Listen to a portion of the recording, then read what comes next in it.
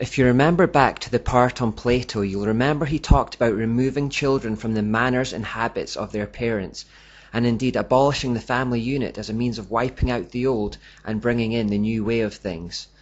The United Nations likes that idea and it has instigated a war on parents through its education system. U Thant said, "The world will not change and find peace if there is not a new education." Dr. Brock Chisholm former director of the United Nations World Health Organization, identified family loyalty, amongst other things, as a hindrance to this when he said, To achieve world government it is necessary to remove from the minds of men their individualism, loyalty to family traditions, national patriotism and religious dogmas. Brock Chisholm also echoed Plato when he said, what basic psychological distortion can be found in every civilization of which we know anything? The only psychological force capable of producing these perversions is morality, the concept of right and wrong. The reinterpretation and eventual eradication of the concept of right and wrong are the belated objectives of nearly all psychotherapy.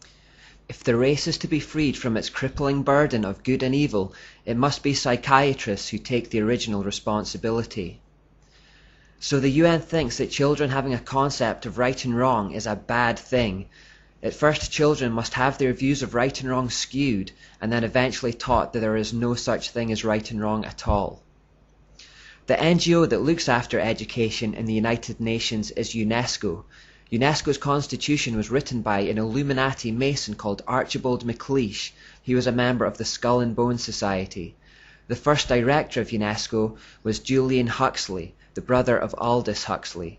He was the 1962 Humanist of the Year and a member of the Communistic Colonial Bureau of the British Fabian Society. He was also a signatory on the Humanist Manifesto too.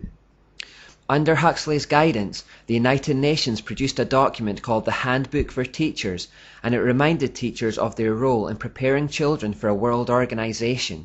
Huxley said in 1948, its education program can stress the ultimate need for world political unity and familiarize all the peoples with the implications of the transfer of full sovereignty from separate nations to a world organization. Political unification and some sort of world government will be required. UNESCO explained, if UNESCO is attacked on the grounds that it is helping to prepare the world's people for world government, then it is an error to burst forth with apologetic statements and denials. Let us face it, the job of UNESCO is to help create and promote world citizenship. When faced with such a charge, let us by all means affirm it from the housetops. They're not even pretending to hide it. So in whatever country you live you may notice the media and education systems encouraging you to feel ashamed of your nationality, your history, or your politicians. This is designed to remove your allegiance from your nation so that you are more ready to accept global citizenship. But what about this war on parents they're waging? On the opening page of the UNESCO handbook it says, Before the child has entered school his mind has already been profoundly marked and often injuriously by earlier influences, i.e. parents, first gained however dimly in the home. UNESCO thinks that if you have been teaching your child the truth about God in the home, then you have injured their mind and that this needs to be undone in the school. Page 58 of the UNESCO handbook says, as we have pointed out, it is frequently the family that infects the child with extreme nationalism. The school should therefore use the means described earlier to combat family attitudes. The whole aim is to undermine Judeo-Christian values and to eradicate it as an infection from the minds of children.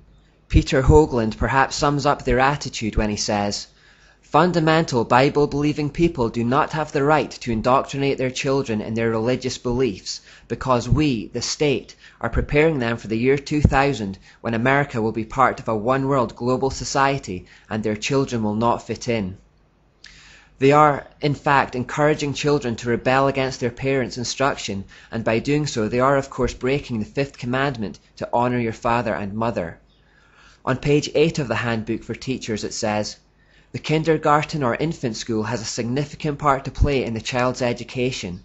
Not only can it correct many of the errors of home training, but it can also prepare the child for membership at about age 7 in a group of his own age and habits. the first of many such social identifications that he must achieve on his way to membership in the world society.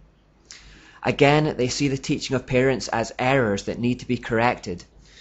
Parents are today, therefore, being asked to hand their kids over to a system that will at the earliest possible age begin indoctrinating them with their philosophical ideas that run contrary to any Christians. We can also see from this quotation that they believe peer pressure will aid their cause. Today, because of the economic squeeze on average working families, along with the Lilith-inspired feminist movement, many mothers have either been taught to think of motherhood as something inferior to careerism or have financially been left with no choice but to go to work and leave their child in the hands of others. This separation between kids and parents is good for the United Nations. Full destruction of family units, as prescribed by Plato, also helps their cause because it forces single mothers to work and leaves the family without a strong male figure, which research proves is very important to the health, happiness, and success of children as they grow up. More to the point, the home is then robbed of strong male spiritual leaders. Satan has been waging a sustained attack on men and male identity for a long time in the knowledge that if he can render them weak, disillusioned, and stunted spiritually, the rest of his work becomes a lot easier. I feel very strongly that Christian men need to waken up to the battle that is being waged on them and their masculinity. Christian families need to waken up as a whole to the fact that Satan wants to destroy that cohesive unit. This attack on male identity in particular is a whole other subject that needs to be addressed but we need a generation of spiritual warriors here who are prepared to take the fight to the enemy. Some Christian parents have already seen potential harm in the state education system and have chosen to homeschool their children or at least pull their kids out of certain classes. This is, of course, not acceptable in the coming New World Order. In Germany, it is already illegal to homeschool children, and in March 2011 a couple were jailed for withdrawing their child from a sex education class. Here in the UK on 18th of October 2009, the British Government Schools Minister Diana Johnson went on to BBC Radio 4's Sunday programme hosted by Roger Bolton and explained that some evangelical parents may need monitoring by the state because they may intimidate their children with ideas about God, sin and hell. She explained that they were reviewing the rules of home education and as part of the shake-up, the government wanted state education officials to have the right to interview home-schooled children without their parents being present. The intention, of course, is to identify and prosecute those parents who are giving their children Christian ideas that go against those of the New World Order. Are these the actions of a free nation when the government wants to prosecute people who think the wrong things, believe the wrong things, and speak the wrong things? It seems to me we don't realise how dark things have become. So worried are the UK government that Christian parents could keep their children out of the system that they reviewed the homeschooling policy three times in just four years. Just a couple of months before that interview on the BBC, an American court ruled that a homeschooled girl aged 10 should have to start attending a state-run school because her views were deemed to be too Christian. Her mother's attorney stated that the court decided that the girl's religious beliefs are a bit too sincerely held and need to be mixed amongst other worldviews. Access to Christian ideas is not to be tolerated in the New World Order. Let's take the sex education issue in which the German couple took a stand as a little case study of where things are going. Back on October 16, 1969, the co-founder of UNESCO, Reinhold Niebuhr, undersigned an advert from the Sexuality, Information and Education Council of the United States, or SIECUS for short. It read, It is the position of SIECUS that contraceptive services should be available to all, including minors, who should enjoy the same rights of free and independent access to contraceptive care as do others. It is the position of SIECUS that the use of explicit sexual materials, sometimes referred to as pornography, can serve a variety of important needs in the lives of countless individuals. So UNESCO approve of the idea that everyone, including minors, should have access to contraception and they approve of the use of explicit pornography in their education. Fast forward to 9th of March 2011 where it was reported in the UK that explicit and permissive sexual material has just been cleared for children as young as 5 years old in the name of education. Despite this education already having led to explosions in sexual promiscuity, disease and teenage pregnancies, this line has not been abandoned. Quite the opposite.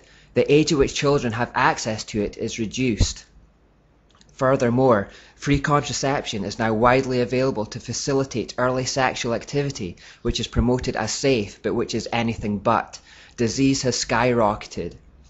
These policies daily help destroy the lives of young people around the world. The reason it's not being reversed is because they're not really concerned about the well-being of individuals.